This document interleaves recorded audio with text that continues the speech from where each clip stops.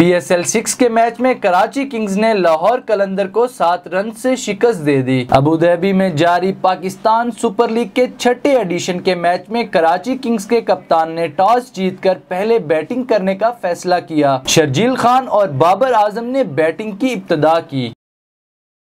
नौजवान fast bowler Shaheen Shah Afridi ने अपनी गलती का एहसास करते हुए नामुनासिब रवैया अपनाने पर सबक टेस्ट कप्तान सरफराज अहमद से माजरत कर ली। समाजी रबते की वेबसाइट ट्विटर पर अपने पैगाम में कौमी टीम के फास्ट बॉलर शाहीन शाह अफरीदी ने कहा कि सरफराज अहमद हम सब का फख्र हैं।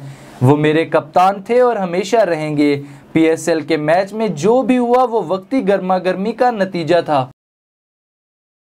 दौरा इंग्लैंड और वेस्ट इंडीज के लिए मुंतखब करदा वाइट बॉल टीम के पाकिस्तान में मौजूद क्रिकेटर्स और ऑफिशल्स की कोविड टेस्टिंग रिपोर्ट्स मनफी आ गई। बॉलिंग कोच वकार यूनस का अभी टेस्ट ना हुआ। जराये के मुताबिक तमाम क्रिकेटर्स और मैनेजमेंट अरकान ने अपनी अपनी रिपोर्ट्स के बारे में पीसीबी को आगाह कर दिया।